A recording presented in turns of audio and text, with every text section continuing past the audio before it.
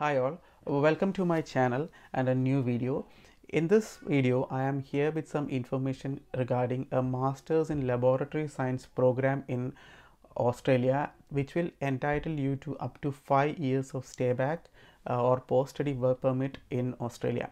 So now we'll have a look at what program it is and which university is offering this program. So the program details are the university at which the program is run is called University of Tasmania. This is situated at uh, a state called Tasmania, which is an island state of Australia.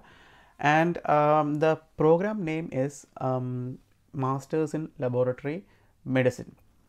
This program is uh, accredited by Australian Institute of Medical Scientists, which means upon the completion of this program, you can actually register as a laboratory scientist in Australia without any further requirements which will get you into job market much easier.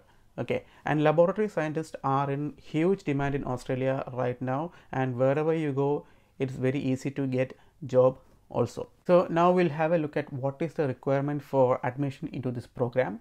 Uh, to get admitted into this program you have to complete a bachelor degree uh, maybe in medical science or any of the health sciences or sciences or biochemistry or related discipline.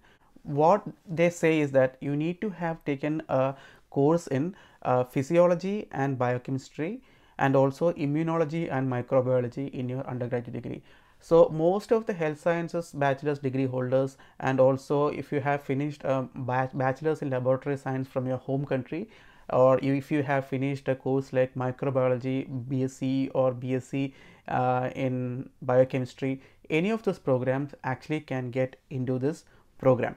The duration of this program is 2 years which is run over 4 semesters. The international student fee for this program is 57589 australian dollars uh, for the entire program this program also involves two placement sequence which means you can get practical experience while you study this program which will help you to get into employment much easier.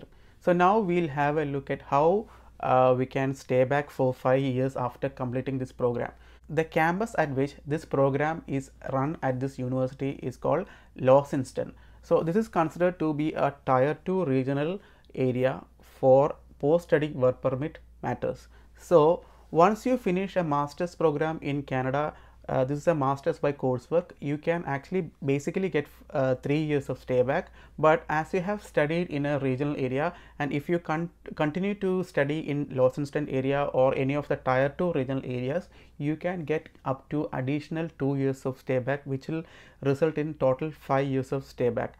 So, this is a very good option for international students uh, trying to come to Australia and settle down here because with 5 years of stay back and this med medical scientist being in a skilled occupational list and in the skilled demand list for long term, uh, this will help you to get permanent residency in uh, in Australia much easier. And also, as you are studying in Tasmania, which is one of the most uh, PR friendly state in Australia, you can expect to get state nomination through uh, uh, you know Tasmania state and get your permanent residency much faster than if you study in uh, any other state. So, if you are coming for medical laboratory sciences courses or medical uh, laboratory or laboratory medicine master's program, make sure you are coming for uh, accredited programs so that or AIMS accredited program so that once you finish your program you are entitled for uh, professional registration uh, without any further requirements.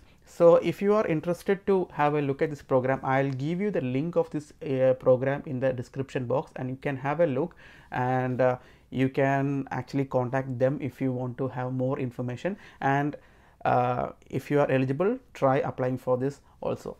Thank you